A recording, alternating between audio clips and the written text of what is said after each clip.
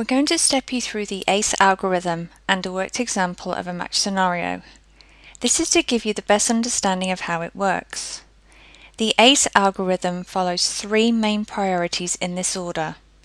It first wants to match applicants to their highest preference DHB.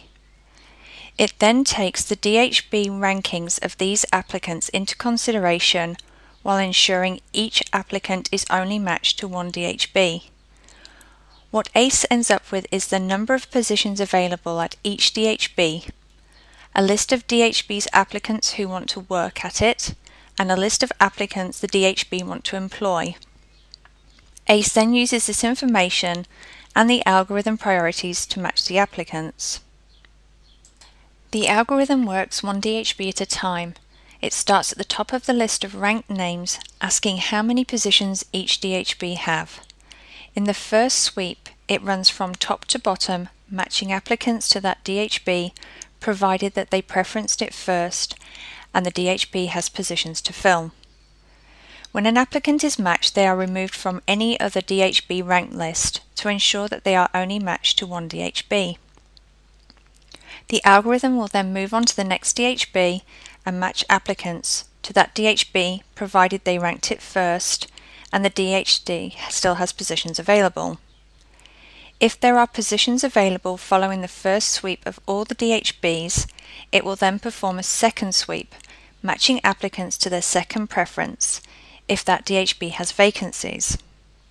The algorithm will continue until all of the positions have been filled or the applicant preferences have been exhausted and no other applicant can be matched.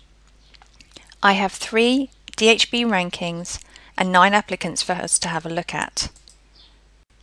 If we look at the Auckland example, we can see that Auckland has three positions available and the applicants are shown in the order the DHB has ranked them. On the right are the applicant's first preference. Remember the first priority is to match applicants to their first preference. The algorithm would look at Orlando's ranking and red flag him, but not match him in this sweep. Orlando is red flagged so that he can be considered in subsequent sweeps should Auckland still have positions available. We can see that Johnny has preferenced Auckland and therefore he is matched. Kira is matched to Auckland because she has preferenced Auckland first. And Jeffrey is also matched to Auckland as he has preferenced Auckland first and Auckland still has positions. Auckland has now filled all of their positions, so the algorithm will move on to the next DHB. If Auckland had positions available after we matched Jeffrey, then the algorithm would continue.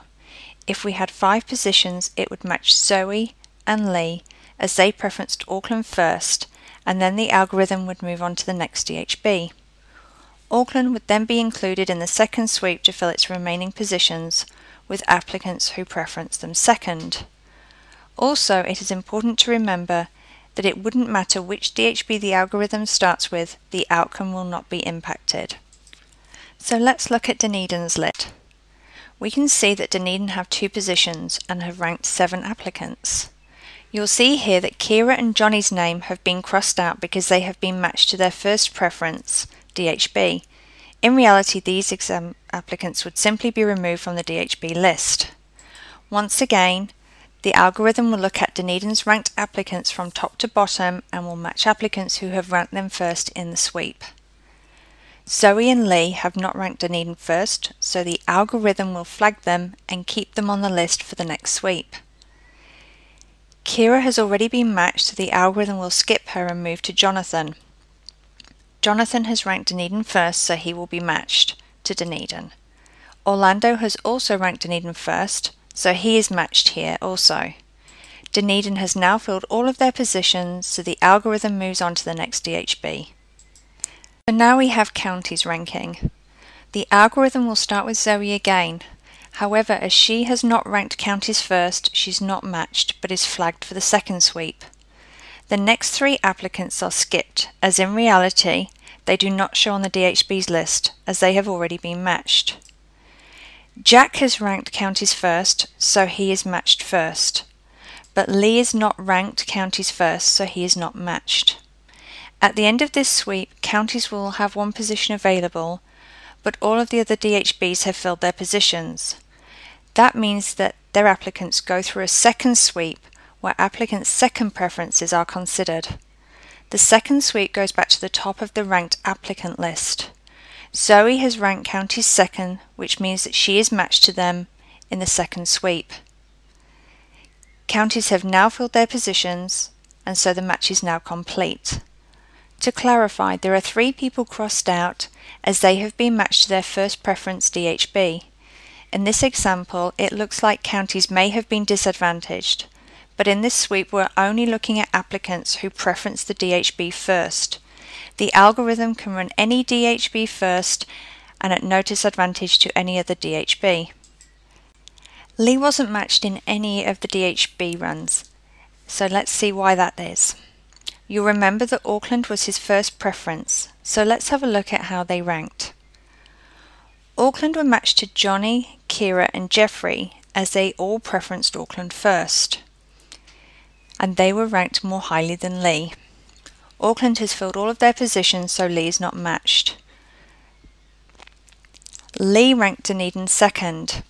While he was ranked highly by Dunedin, they filled their positions with applicants who preferenced them first before the algorithm needed to look at applicants who preferenced them second. Lee is not matched here either. Finally, counties was Lee's third preference. Jack was matched in the first sweep and Zoe in the second, so therefore they would have filled their positions before the third sweep where Lee would have been considered for a position. Therefore, Lee isn't matched or offered in any of our example intake. Damien was also unsuccessful in our example match here. Damien ranked counties first, however counties did not rank Damien here, so there is no way he could be matched to this DHB. Dunedin, Damien's second preference, fill all of their positions with applicants who preference Dunedin first, and therefore Damien is not matched here either.